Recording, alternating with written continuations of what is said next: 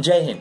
NCC की combat uniform इसका use सिर्फ़ और सिर्फ़ एसडी कैडेट्स को होता है। जेडी कैडेट्स को इसका कोई काम नहीं होता। एसडी कैडेट्स को इसका काम सिर्फ़ और सिर्फ़ नेशनल कैंप में होता है। जैसे कि army attachment camp IMA camp OTA camp और टीएससी टीएससी में सभी सब्जेक्ट्स कवर होते हैं।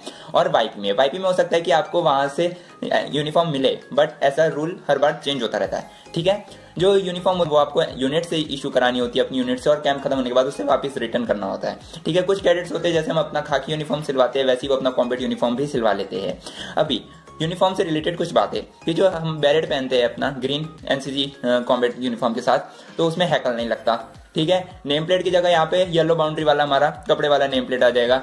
साइड बेल्ट लगाने की ज़रूरत नहीं है। लैनियार्ड भी नहीं लगता। ऑफिसर बेल्ट नहीं पहनते हम वेब बेल्ट पहनते हैं।